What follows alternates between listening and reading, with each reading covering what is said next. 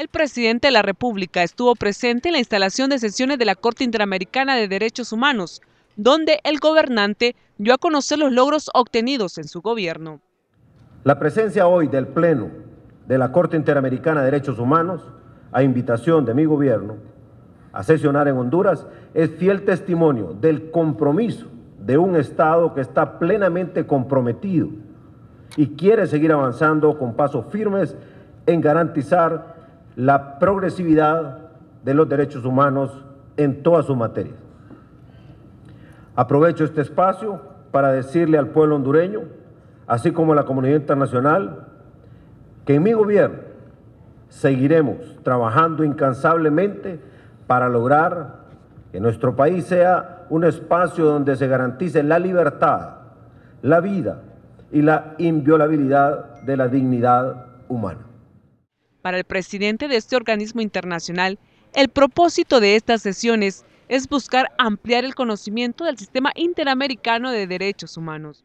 No acudimos a los estados, en este caso no acudimos a Honduras para abordar asuntos nacionales, ni asumimos las atribuciones que competen a la jurisdicción interna o a la Comisión Interamericana.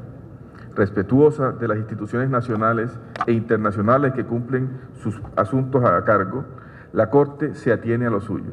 Por tanto, la Corte no conocerá en sus audiencias, no conocerá en las audiencias finales que tendrán ocasión eh, de casos hondureños, ni mucho menos estudiará situaciones o recogerá informaciones o denuncias de peticiones, actividad que le correspondería en el sistema interamericano a la Comisión.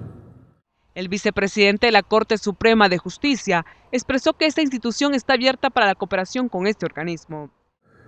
Estamos abiertos para la cooperación y para la interacción eh, permanente para el beneficio del sistema interamericano y para el beneficio del país que eh, denotamos que somos cumplidores con los convenios internacionales y con las, eh, el respeto, buscar el respeto a los derechos humanos y por ende el beneficio para la sociedad.